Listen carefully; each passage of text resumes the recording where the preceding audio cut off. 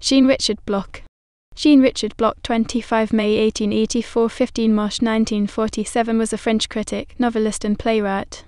He was a member of the French Communist Party PCF and worked with Louis Aragon in the evening daily Ce Soir. Early life Bloch was born into a Jewish family.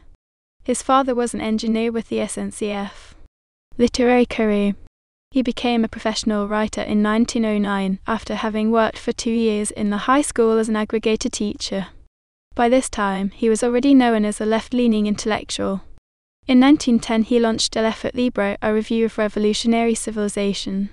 He joined the French army in World War I and was injured three times on the battlefields of the Marne and in Verdun. After the war, he felt remorse for having joined the army.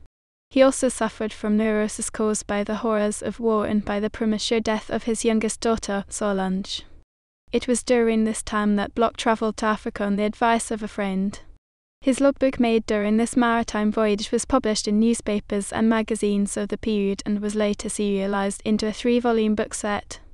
In 1937, he was responsible for organizing Naissance d'une Cité, a popular spectacle performed on 19 October as part of the Exposition Internationale des Arts et Techniques dans la Vie Moderne. Family life. Brother in law of André Maurois. Literary works.